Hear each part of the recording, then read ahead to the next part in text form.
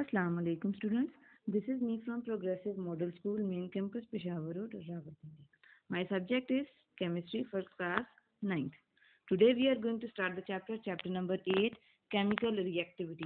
What is chemical reactivity? In this chapter we are going to study what the chemical reaction is, how various elements undergo different reactions, what are their reaction properties. We know that chemical reactions are actually very much important in our daily life and in chemistry and in industrial purposes. So starting with the pre-reading concepts, first is it is said that iron rust but gold and platinum do not get rusted in moist air. Like iron को जंग लग जाता है लेकिन gold and platinum को जंग नहीं लगता उसका रीजन क्या है द रीजन इज आयरन का जो रिएक्शन के लिए अफिनिटी है टुवर्ड्स मॉइस्ट एयर वो ज़्यादा है। Where as gold and platinum उतने रिएक्टिव नहीं है toward moist air moist air में आपको पता है ऑक्सीजन कंटेंट प्रेजेंट होता है और वाटर वेपर कंटेंट प्रेजेंट होता है। Iron has this ability to react with water and oxygen whereas gold and platinum do not have such ability other is is copper is the important metal which is founded in low graded ore form you know copper is in our daily life copper is very much important it is used for various purposes and copper which is important metal it is founded on earth in the form of low graded ore अब वो pure form में हमें available नहीं होती so how we get the pure form of copper या low graded ore form का मतलब क्या that is it is very much impure वो किसी में और मेटल के साथ कंबाइंड फॉर्म में अवेलेबल होती है उसको पेयर करने के लिए सबसे पहले क्या किया जाता है? This low graded ore is treated with sulphuric acid to get the copper sulphate solution so when this copper sulphate solution is obtained this in this solution for recovering this pure iron iron rod are dipped in it when iron rod are dipped iron this iron it displaces iron copper from copper sulfate solution and itself becomes iron sulfate and copper is separated out in the form of crystals or in the form of uh, particles at bottom. Other thing is that iodine is an essential element which is prepared by the oxidation of iodide salt by chloride. लेकिन iodine is also an essential essential element for thyroid glands. हमारे thyroid glands present होते हैं in our neck उनके लिए very much important है और tincture iodine की preparation के लिए भी यूज़ की जाती है ओके, और रिएक्टिविटी जो है, किसी भी मेटल की रिएक्ट रिलेट किससे करती है? It is related to the outermost electrons that outer electrons present in the valence shell of any atom उस number of electrons that are present in the outermost shell of electron, they are responsible for any reaction, और उसी, उन्हीं की base पे कोई भी atom या कोई भी एलिमेंट रिएक्टिविटी को डिटरमिन करेगा। Starting with the topic 8.1 point is metals so metals की सबसे पहले जनरल प्रॉपर्टीज़ डिस्कस की गई हैं। This is that they can be transform into variety of shapes अब वैरायटी ऑफ़ शेप्स कैसे बनाई जा सकती हैं? उनको मेल्ट भी किया जा सकता है। They can be moulded casting भी की जाती है। Hammering and rolling is also done and where these metals are placed metals they occupy the left and lower three quarters of the periodic table that is they are present at the extreme left side of the periodic table and उनकी अगर हम metal को as a surface determine करें उसका उसकी shape को देखें तो they are typically shiny solids and इनके melting and boiling points generally moderate से हाई होते हैं इतने लो मेल्टिंग पॉइंट्स नहीं होती and metals are the good conductors of heat and electricity and metals reactive भी होते हैं उनकी reactivity की basis क्या है because they have the ability to lose electrons in various chemical reactions metal की सबसे important character क्या है metal की property क्या है that there is having they are having electropositive character अब what is electropositive character electropositivity is defined as the tendency of metals. या tendency to lose electron is called electropositivity. अच्छा। होता क्या किसी भी एलिमेंट को, जो प्रॉपर्टी उसको अवेलेबल करती है, कि वो एबिलिटी है उसके पास, ताकि वो इलेक्ट्रॉन को लूज करके मेटल कैटन बना सके। उसके आउटर मोस्ट से इलेक्ट्रॉन को लूज करने की एबिलिटी को हम क्या कहते हैं? Electropositive character how the reaction occurs lose कैसे करते हैं? मेटल सॉलिड फॉर्म में होता है। When it loses one of the electron it becomes matter cation with plus charge because एक इलेक्ट्रॉन उसने लूज कर दिया है तो within nucleus number of proton ज़्यादा हो गए हैं, जिसकी वजह से उस पर चार्ज प्लस का चार्ज होता है। Here and denotes that the number of जितने नंबर ऑफ़ इलेक्ट्रॉन्स एक एलिमेंट एटम का एलिमेंट लूज करता जाएगा उतना नंबर आता जाएगा whether it loses one electron it will be plus one it loses two electron it will be plus two and so on and ne means e stands for electron and n uh, stands for the number of electron it is going to lose now what are the trends here m stands for metal okay अब metal के हमने trends check करने हैं कि electropositive character के trends क्या हैं within the periodic table right. Generally देखा जाए तो metals they have the large atomic size and low ionisation energy उसकी बेसिस क्या है? Electropositivity down the group when we are going to discuss it electropositivity increases due to large atomic size and low ionisation energy why atoms have large atomic size क्योंकि उनके पास number of electrons जो जो number of electrons increase करते हैं, उनके valence number of shells increase करते हैं। Number of shells increase करने की वजह से न्यूक्लियस का interaction with the valence electron valence shell electron it get decreases so atom का साइज़ इंक्रीज कर जाता है। सो शील्डिंग इफ़ेक्ट बढ़ जाने की वजह से आयनाइजेशन एनर्जी भी डिक्रीज कर जाती है right and when we are, we discuss it in the period along the period the tendency to lose electron decreases. Why is it so? As we move from left to right in a period the size of the atom gets smaller because within a same period the number of the shell undergoing electronic configuration yeah filling of electron and the shell remains same but number of electrons and number of proton increases. So the number of more the number of protons in the nucleus they strongly attract the valence electron and the size is atom atomic size is reduced. So they have the closely attached with the nucleus closely attracted with the nucleus. So they do not have much ability to lose electron easily. Like now if I discuss their example along the group here sodium is more electropositive than lithium because down the group electropositivity increase करिए sodium ऊपर present है lithium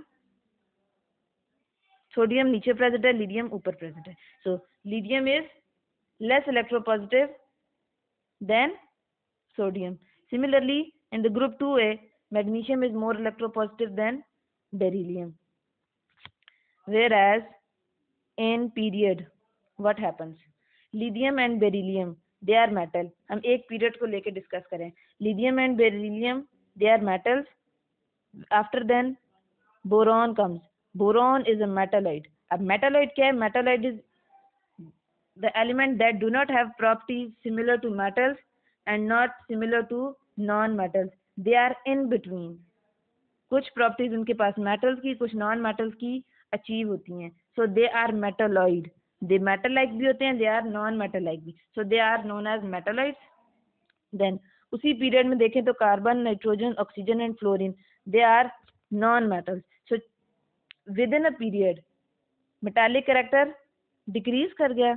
electro positivity भी इसीलिए electropositivity भी decrease करी है। Within a period अब next उसमें चेक करें, अगर इसी में लिथियम और बेरिलियम को चेक करें तो beryllium is less metallic than lithium as I have told you that within a period electropositivity decreases now अब हमने इनकी रिएक्टिविटी चेक करनी है इलेक्ट्रोपॉजिटिव नेचर की बेसिस पे हाउ दे रिएक्ट उसके लिए किसी भी मेटल की रिएक्टिविटी को डिटरमिन करने के लिए हम उसको चेक करेंगे, उसका reaction with oxygen what happens in a group the reactivity of metals with oxygen increases अब ग्रुप में उसकी रिएक्टिविटी इंक्रीज क्यों करती है because they show an increase in affinity for oxygen as we move down the group because down the group electropositive character increase करेगा electropositive character increase करने की वजह से उसका metallic character atom का increase करता है so they are more available to oxygen for their reaction. So what happens? Lithium forms normal oxide. Here lithium plus oxygen makes lithium oxide. Sodium forms peroxide. Two, two atoms of sodium react with oxygen give rise to sodium peroxide. Here is a specialty that sodium on the availability of oxygen, sodium also can form normal oxide अब normal oxide और peroxide में क्या फ़र्क है? Here you can see there are normal oxide and peroxide are on the base of their oxidation number अब oxidation number क्या होता है? किसी भी एटम का electron number of electron lose करने की या गेन करने की एबिलिटी उसके ऊपर लूज करने की वजह से जो चार्ज आता है वो बेसिकली उसका ऑक्सीडेशन नंबर बन जाता है। So here you can see that there is one lithium, one lithium making bond with two of the oxygen. Whereas in peroxide, there is one oxygen for one sodium. So there are overall in a molecule, two oxygen for two of the sodium.